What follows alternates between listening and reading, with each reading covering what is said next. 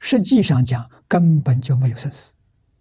啊，学佛的人首先要承认这个概念，确实没生死。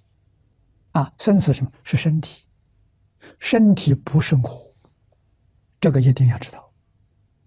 身体是我所有的，不生活。啊，我所像衣服一样，这衣服是我所有的。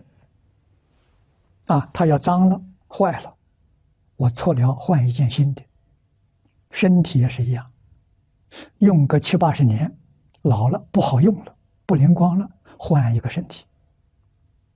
你真正了解生死的真相，你对于生死一丝毫恐怖都没有。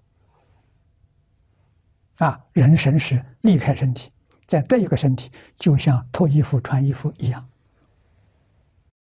没有苦啊！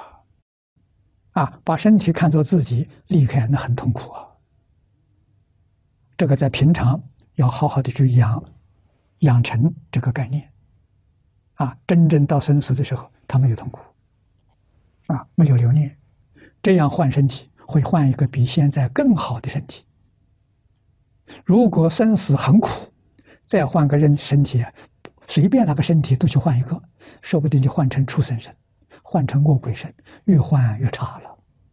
啊，头脑清楚的人越换越好啊，迷惑的人越换越差了。所换的身体还不是自己，这个一定要晓得。